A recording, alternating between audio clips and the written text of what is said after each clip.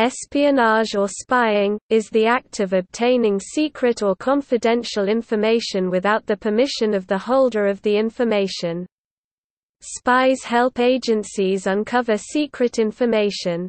Any individual or spy ring a cooperating group of spies, in the service of a government, company or independent operation, can commit espionage. The practice is clandestine, as it is by definition unwelcome and in many cases illegal and punishable by law. Espionage is a method of intelligence gathering which includes information gathering from public sources. Espionage is often part of an institutional effort by a government or commercial concern. However, the term tends to be associated with state spying on potential or actual enemies for military purposes. Spying involving corporations is known as industrial espionage.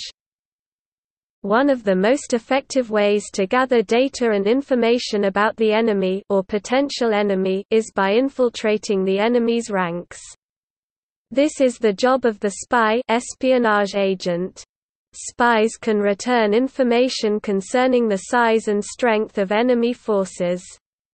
They can also find dissidents within the enemy's forces and influence them to defect. In times of crisis, spies steal technology and sabotage the enemy in various ways.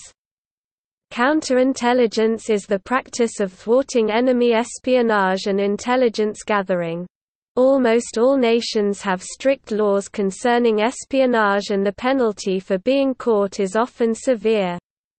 However, the benefits gained through espionage are often so great that most governments and many large corporations make use of it.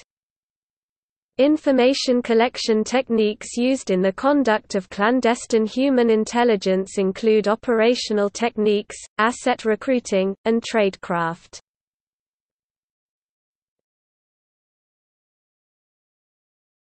Topic: History.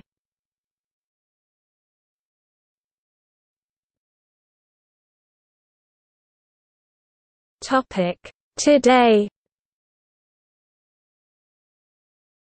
Today, espionage agencies target the illegal drug trade and terrorists as well as state actors.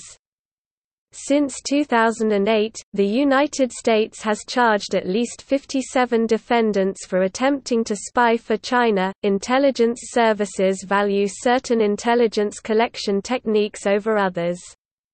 The former Soviet Union, for example, preferred human sources over research in open sources, while the United States has tended to emphasize technological methods such as SIGINT and IMINT.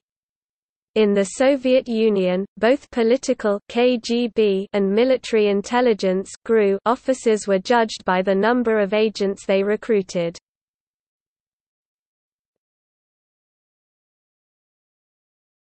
Topic: Targets of espionage Espionage agents are usually trained experts in a targeted field so they can differentiate mundane information from targets of value to their own organizational development. Correct identification of the target at its execution is the sole purpose of the espionage operation. Broad areas of espionage targeting expertise include natural resources, strategic production identification and assessment food, energy, materials. Agents are usually found among bureaucrats who administer these resources in their own countries. Popular sentiment towards domestic and foreign policies popular, middle class, elites Agents often recruited from field journalistic crews, exchange postgraduate students and sociology researchers. Strategic economic strengths production, research, manufacture, infrastructure. Agents recruited from science and technology academia, commercial enterprises, and more rarely from among military technologists, military capability intelligence offensive, defensive, maneuver, naval, air, space. Agents are trained by military espionage education facilities, and posted to an area of operation with covert identities to minimize prosecution Counterintelligence operations targeting opponents' intelligence services themselves, such as breaching confidentiality of communications, and recruiting defectors or moles.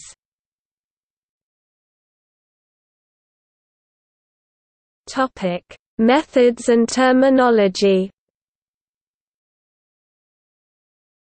Although the news media may speak of «spy satellites» and the like, espionage is not a synonym for all intelligence-gathering disciplines.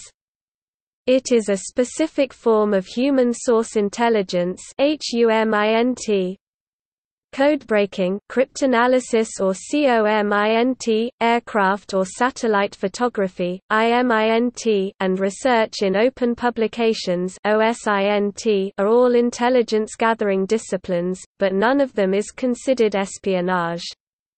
Many HUMINT activities, such as prisoner interrogation, reports from military reconnaissance patrols and from diplomats, etc., are not considered espionage.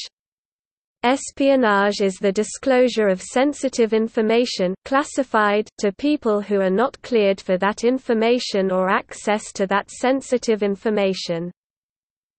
Unlike other forms of intelligence collection disciplines, espionage usually involves accessing the place where the desired information is stored or accessing the people who know the information and will divulge it through some kind of subterfuge.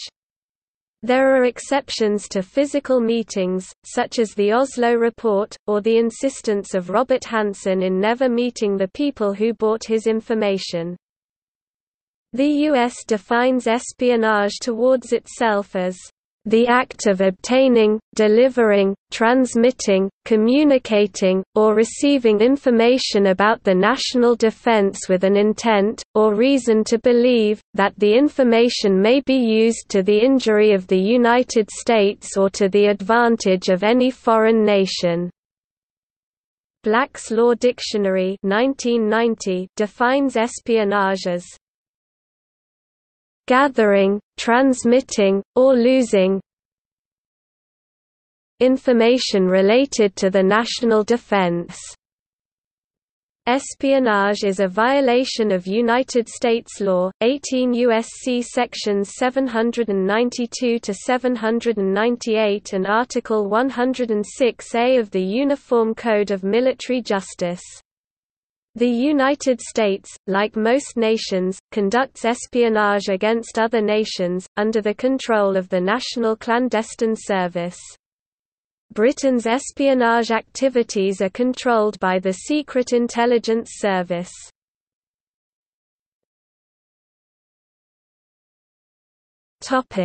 Technology and techniques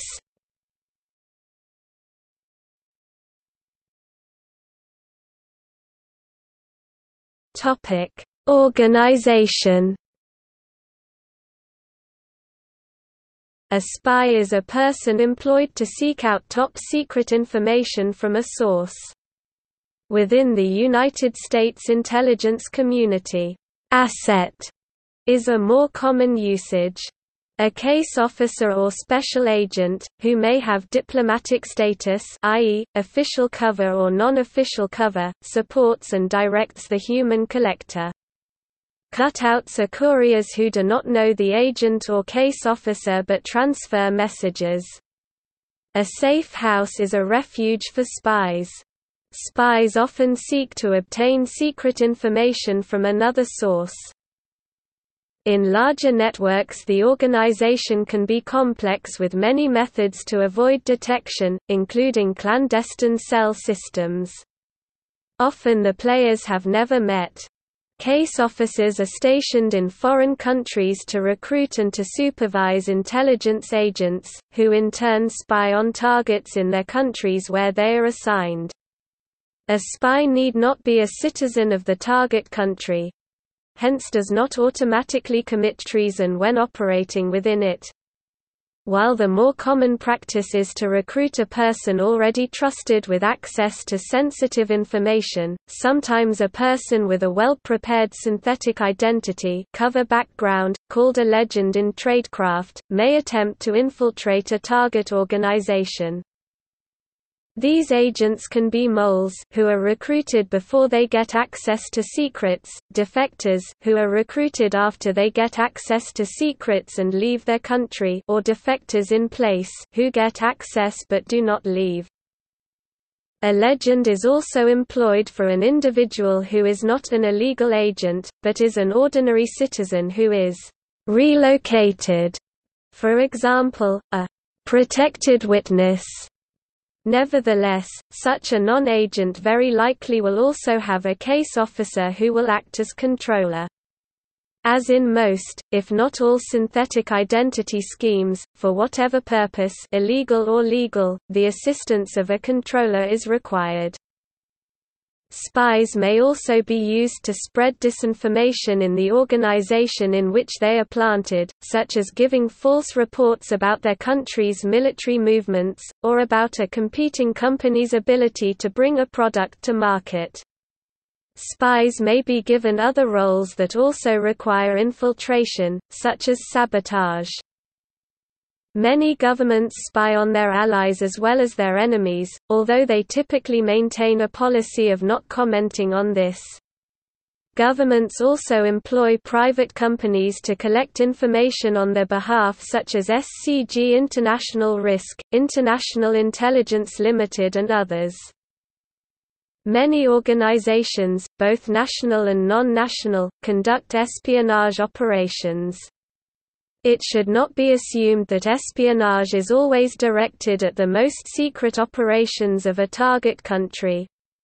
National and terrorist organizations and other groups are also targets.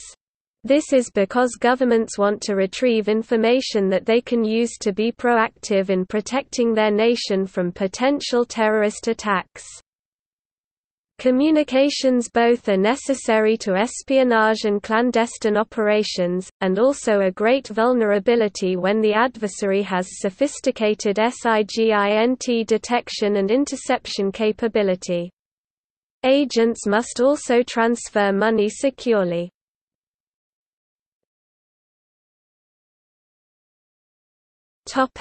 Industrial espionage Reportedly Canada is losing $12 billion and German companies are estimated to be losing about €50 billion Euros $87 billion and 30,000 jobs to industrial espionage every year.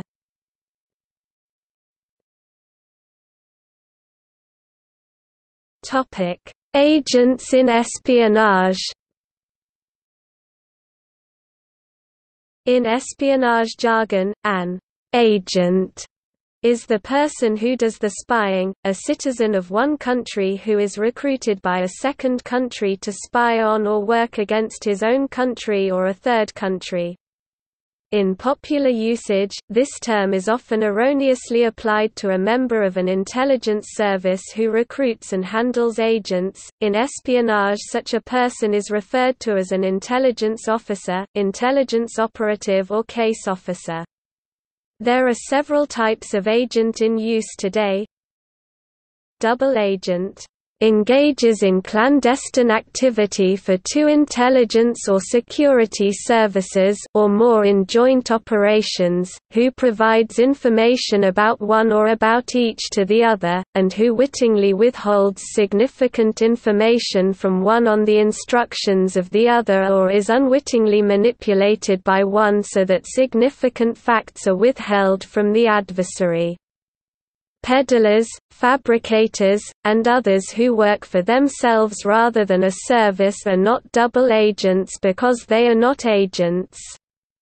The fact that double agents have an agent relationship with both sides distinguishes them from penetrations, who normally are placed with the target service in a staff or officer capacity redoubled agent, forced to mislead the Foreign Intelligence Service after being caught as a double agent. unwitting double agent, offers or is forced to recruit as a double or redoubled agent and in the process is recruited by either a third-party intelligence service or his own government without the knowledge of the intended target intelligence service or the agent. This can be useful in capturing important information from an agent that is attempting to seek allegiance with another country. The double agent usually has knowledge of both intelligence services and can identify operational techniques of both, thus making third-party recruitment difficult or impossible. The knowledge of operational techniques can also affect the relationship between the operations officer or case officer and the agent if the case is transferred by an operational targeting officer to a new operations officer, leaving the new officer vulnerable to attack. This type of transfer may occur when an officer has completed his term of service or when his cover is blown. Triple Agent, works for three intelligence services. Intelligence Agent, provides access to sensitive information through the use of special privileges. If used in corporate intelligence gathering, this may include gathering information of a corporate business venture or stock portfolio.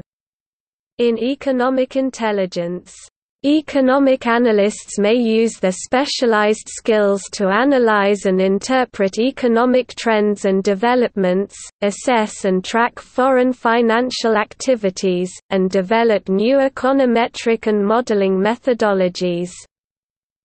This may also include information of trade or tariff. Access Agent – provides access to other potential agents by providing profiling information that can help lead to recruitment into an intelligence service.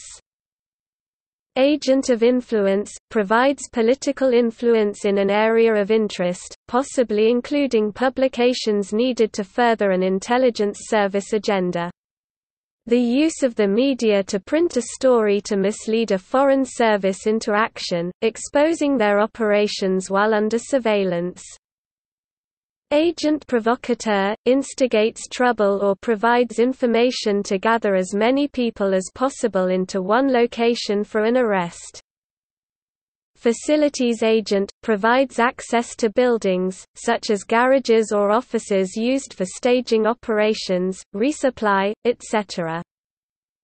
Principal agent – functions as a handler for an established network of agents, usually considered blue chip, Confusion agent – provides misleading information to an enemy intelligence service or attempts to discredit the operations of the target in an operation. Sleeper agent – recruited to wake up and perform a specific set of tasks or functions while living undercover in an area of interest. This type of agent is not the same as a deep cover operative, who continually contacts a case officer to file intelligence reports.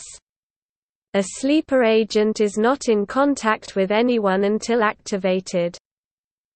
Illegal agent, lives in another country under false credentials and does not report to a local station. A non-official cover operative can be dubbed an illegal when working in another country without diplomatic protection.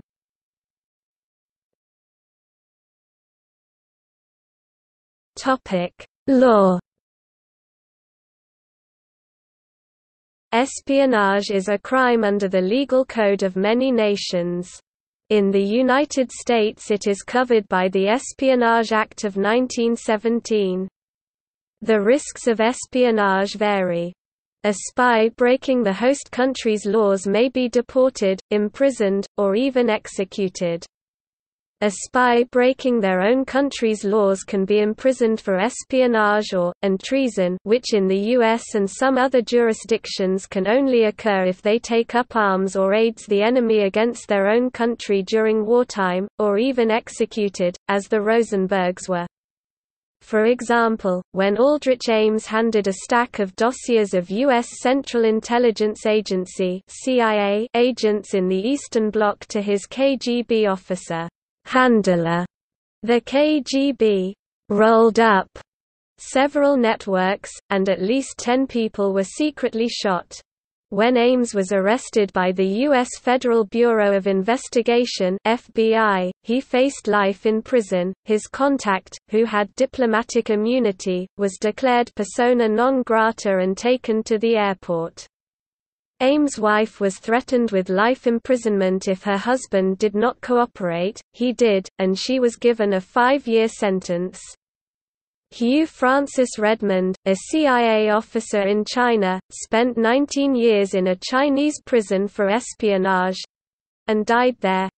As he was operating without diplomatic cover and immunity, in United States law, treason, espionage, and spying are separate crimes. Treason and espionage have graduated punishment levels. The United States in World War I passed the Espionage Act of 1917. Over the years, many spies, such as the Soble spy ring, Robert Lee Johnson, the Rosenberg ring, Aldrich Hazen Ames, Robert Philip Hanssen, Jonathan Pollard, John Anthony Walker, James Hall III, and others have been prosecuted under this law.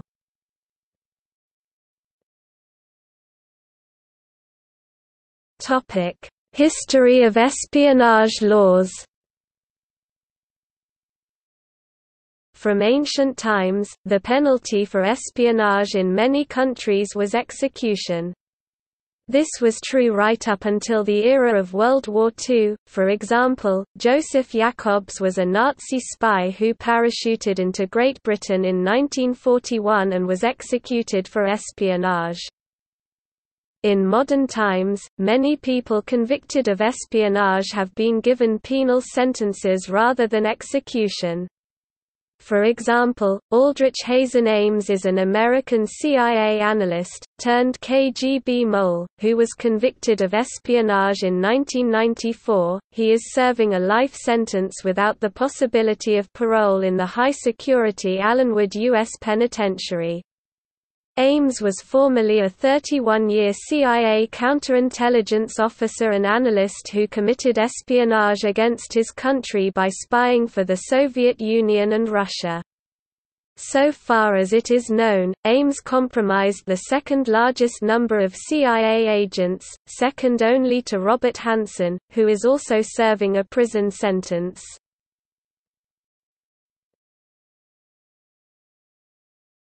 Topic: Use against non-spies. Espionage laws are also used to prosecute non-spies. In the United States, the Espionage Act of 1917 was used against socialist politician Eugene V. Debs at that time the act had much stricter guidelines and amongst other things banned speech against military recruiting. The law was later used to suppress publication of periodicals, for example of Father Coughlin in World War II. In the early 21st century, the Act was used to prosecute whistleblowers such as Thomas Andrews Drake, John Kiriakou, and Edward Snowden, as well as officials who communicated with journalists for innocuous reasons, such as Stephen Jin Woo Kim. As of 2012, India and Pakistan were holding several hundred prisoners of each other's country for minor violations like trespass or visa overstay, often with accusations of espionage attached. Some of these include cases where Pakistan and India both deny citizenship to these people, leaving them stateless. The BBC reported in 2012 on one such case, that of Muhammad Idris, who was held under Indian police control for approximately 13 years for overstaying his 15-day visa by two to three days after seeing his ill parents in 1999. Much of the 13 years was spent in prison waiting for a hearing, and more time was spent homeless or living with generous families. The Indian People's Union for Civil Liberties and Human Rights Law Network both decried his treatment. The BBC attributed some of the problems to tensions caused by the Kashmir conflict.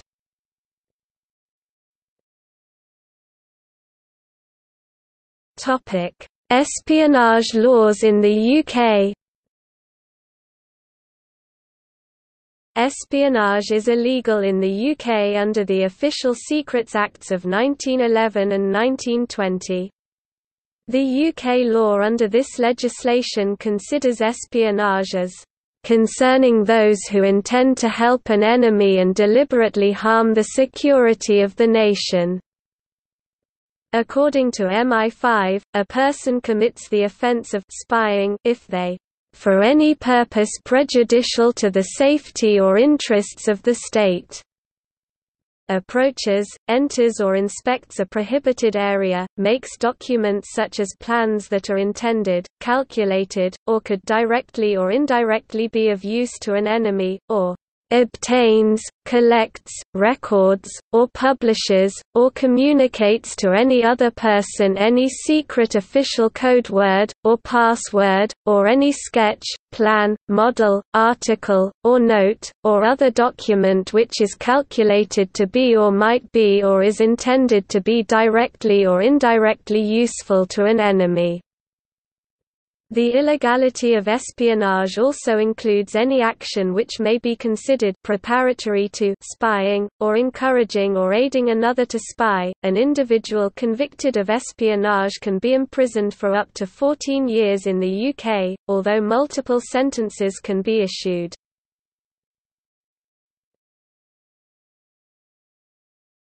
Topic: Government intelligence laws and its distinction from espionage. Government intelligence is very much distinct from espionage, and is not illegal in the UK, providing that the organisations of individuals are registered, often with the ECO, and are acting within the restrictions of the Regulation of Investigatory Powers Act Intelligence is considered legally as Information of all sorts gathered by a government or organization to guide its decisions. It includes information that may be both public and private, obtained from many different public or secret sources. It could consist entirely of information from either publicly available or secret sources, or be a combination of the two. However, espionage and intelligence can be linked. According to the MI5 website, Foreign intelligence officers acting in the UK under diplomatic cover may enjoy immunity from prosecution. Such persons can only be tried for spying or, indeed, any criminal offence if diplomatic immunity is waived beforehand. Those officers operating without diplomatic cover have no such immunity from prosecution. There are also laws surrounding government and organizational intelligence and surveillance. Generally, the body involved should be issued with some form of warrant or permission from the government, and should be enacting their procedures in the interest of protecting national security or the safety of public citizens. Those carrying out intelligence missions should act within not only RIPA, but also the Data Protection Act and Human Rights Act. However, there are spy equipment laws and legal requirements around intelligence methods that vary for each form of intelligence enacted.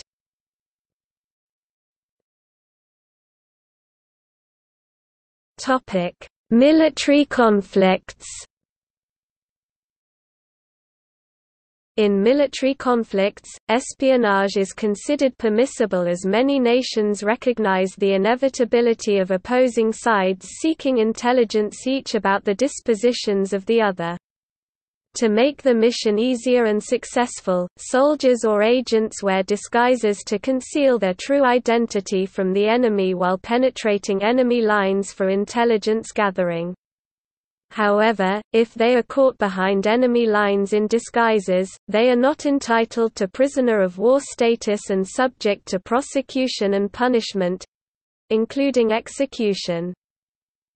The Hague Convention of 1907 addresses the status of wartime spies, specifically within "...laws and customs of war on land." Hague IV, October 18, 1907, Chapter 2 Spies Article 29 states that a person is considered a spy who, acts clandestinely or on false pretenses, infiltrates enemy lines with the intention of acquiring intelligence about the enemy and communicate it to the belligerent during times of war. Soldiers who penetrate enemy lines in proper uniforms for the purpose of acquiring intelligence are not considered spies but are lawful combatants entitled to be treated as prisoners of war upon capture by the enemy. Article 30 states that a spy captured behind enemy lines may only be punished following a trial. However, Article 31 provides that if a spy successfully rejoined his own military and is then captured by the enemy as a lawful combatant, he cannot be punished for his previous acts of espionage and must be treated as a prisoner of war. Note that this provision does not apply to citizens who committed treason against their own country or co-belligerents of that country and may be captured and prosecuted at any place or any time regardless whether he rejoined the military to which he belongs or not or during or after the war. The ones that are excluded from being treated as spies while behind enemy lines are escaping prisoners of war and downed airmen as international law distinguishes between a disguised spy and a a disguised escaper. It is permissible for these groups to wear enemy uniforms or civilian clothes in order to facilitate their escape back to friendly lines so long as they do not attack enemy forces, collect military intelligence, or engage in similar military operations while so disguised. Soldiers who are wearing enemy uniforms or civilian clothes simply for the sake of warmth along with other purposes rather than engaging in espionage or similar military operations while so attired are also excluded from being treated as unlawful combatants. Saboteurs are treated as spies as they too wear disguises behind enemy lines for the purpose of waging destruction on an enemy's vital targets in addition to intelligence gathering. For example, during World War II, eight German agents entered the U.S. in June 1942 as part of Operation Pastorius, a sabotage mission against U.S. economic targets. Two weeks later, all were arrested in civilian clothes by the FBI thanks to two German agents betraying the mission to the U.S. under the Hague Convention of 1907. These Germans were classified as spies and tried by a military tribunal in Washington, D.C. On August 3, 1942, all eight were found guilty and sentenced to death. Five days later, six were executed by electric chair at the District of Columbia jail. Two who had given evidence against the others had their sentences reduced by President Franklin D. Roosevelt to prison terms. In 1948, they were released by President Harry S. Truman and deported to the American zone of occupied Germany. The U.S. codification of enemy spies is Article 106 of the Uniform Code of Military Justice. This provides a mandatory death sentence if a person captured in the act is proven to be lurking as a spy or acting as a spy in or about any place, vessel, or aircraft, within the control or jurisdiction of any of the armed forces, or in or about any shipyard, any manufacturing or industrial plant, or any other place or institution engaged in work in aid of the prosecution of the war by the United States, or elsewhere.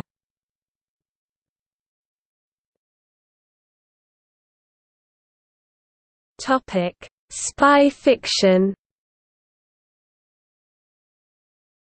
Spies have long been favorite topics for novelists and film makers. An early example of espionage literature is Kim by the English novelist Rudyard Kipling, with a description of the training of an intelligence agent in the Great Game between the UK and Russia in 19th-century Central Asia. An even earlier work was James Fenimore Cooper's classic novel, The Spy, written in 1821, about an American spy in New York during the Revolutionary War.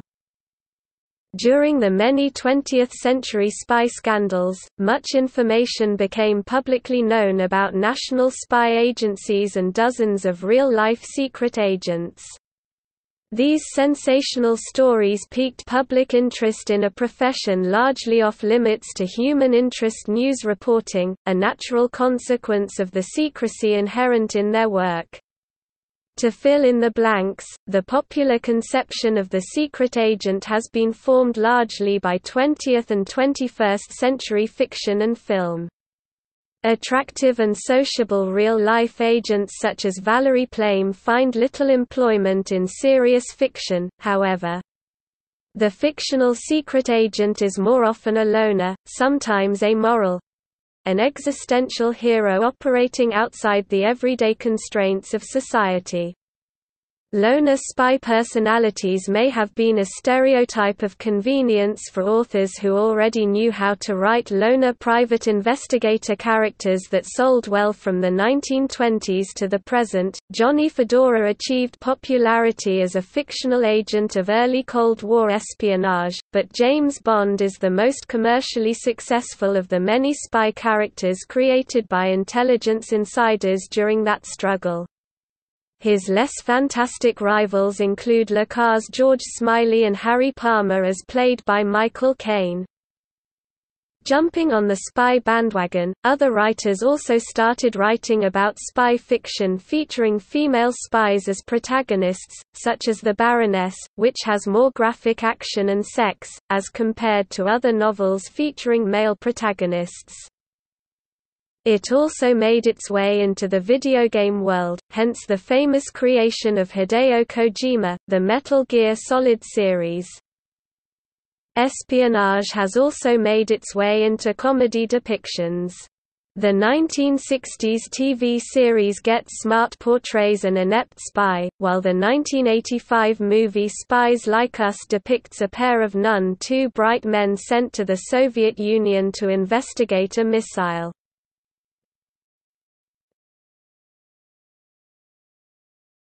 Topic: World War II, 1939 to 1945. Topic Cold War era, 1945 to 1991 Anderson, Nicholas NOC Enigma Books 2009 Post-Cold War era Ishmael Jones The Human Factor, Inside the CIA's Dysfunctional Intelligence Culture Encounter Books 2008, Rev. 2010 Michael Ross The Volunteer, The Incredible True Story of an Israeli Spy on the Trail of International Terrorists McClelland and Stewart 2007, Rev.